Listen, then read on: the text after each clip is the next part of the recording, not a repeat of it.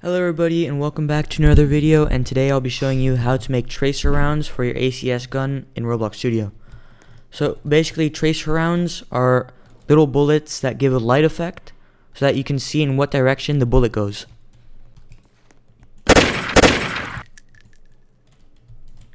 Alright now as you can see uh, now I'm testing out the gun that we're gonna be making in this video. When I shoot the uh, as you can see the red things are the tracer bullets. And if you stick around to the end of the video I'll show you exactly how to make this.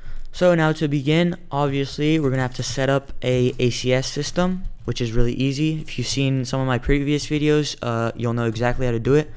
Anyways I'll uh, I'll be demonstrating it anyways for people who don't know. So first thing that you're gonna want to do is insert ACS from the toolbox. Just search up ACS in the search bar and then click the first one that comes up.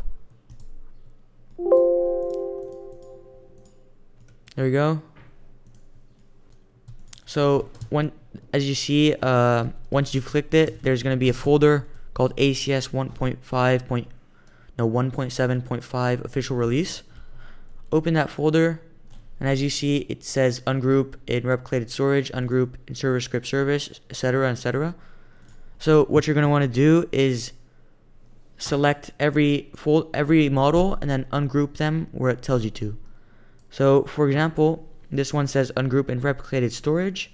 I'm going to drag it all the way and and drop it into replicated storage and then ungroup it by pressing control and U at the same time. Same thing for server script service and then for all the rest of the models.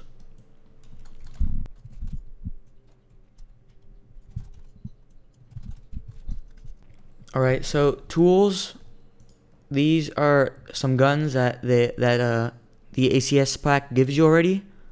Uh, these, if you want to use, if you want to uh, put tracers on these, it'll work on any gun. It'll work. But for my example, I'm gonna use, I'm gonna use uh, a World War II gun called the MG42. So to get this gun, I'm gonna search up this name in the in the search bar, Spidery. I don't, I'm not sure how to pronounce that, but first one that comes up. Now, then you'll see a user that has made uh, multiple World War II ACS packs. So I'm gonna insert the German pack. There we go. And as you see, it will give me a folder. In there, it says Tools, Server, and Client. So first of all, I'm gonna put in the tool. I'm gonna open Tools and search whatever gun I want example, this is, so in my case, it's the MG42. I'm going to drag it and put it in starter pack. then I'm going to delete the rest. And then we have server and client. So for this, open the ACS engine folder under replicated storage. And then open the gun model models folder, not the gun mods. The gun models folder. Open it and then you'll see as client and server. So let's delete this. We don't need it. First of all, let's delete that because we don't need it. Uh, first of all, we're going to open the client folder, get the gun that we would like, and put it into the client folder under replicated storage. And then the same thing for the server folder. We're going to get the one gun that we want, and then paste it in the server folder in replicated storage. Just as easy as that. And then once we've done that, last step is to set your game avatar to R6. To do that, you can just go in, uh, into game settings, publish the game, then go back into game settings, and then click on avatar, and then you'll find R6. Just select R6, and then you're good. So I already have it set to R6. Uh, so basically what we're going to do now is we're going to test the game to see if the gun works already.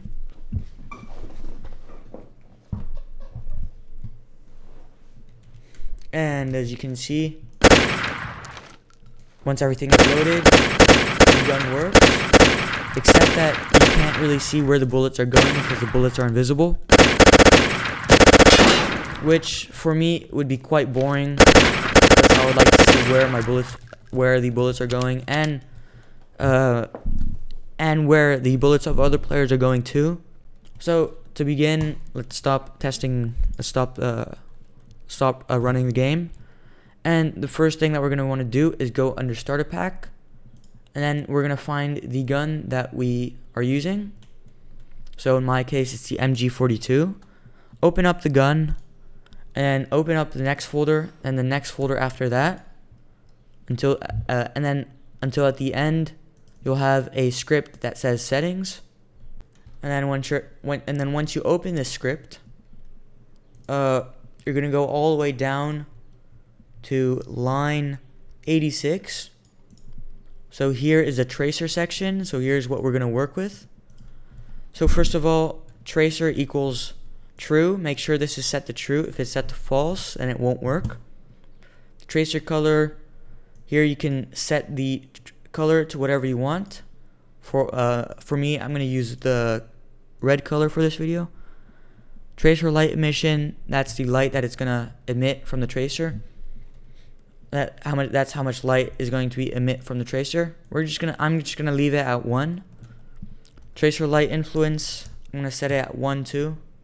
I'm gonna set it at one also. Tracer lifetime, this is how long the tracer is going to be visible for. I'm going to set that to 1 also. Then tracer width. This is basically how big the tracer is going to be. I'm going to set it to 1 as well. If it's if it's any more up up if it's any more bigger than 5, then you'll see that it's going to be a bit bulky and weird and ugly, so we're just going to leave it at 1. Random tracer. Set, uh, I'm going to set that to true. And then tracer every X shots means after how many shots you're going to see a tracer. So if you set it to 3, that means every 3 shots there's going to be a tracer shot.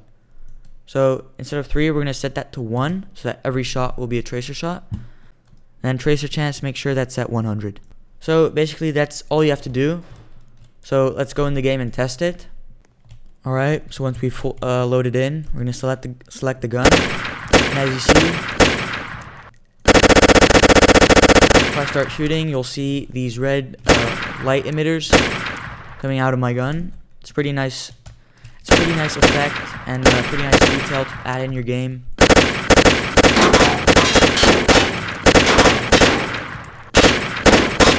I honestly like the way it looks.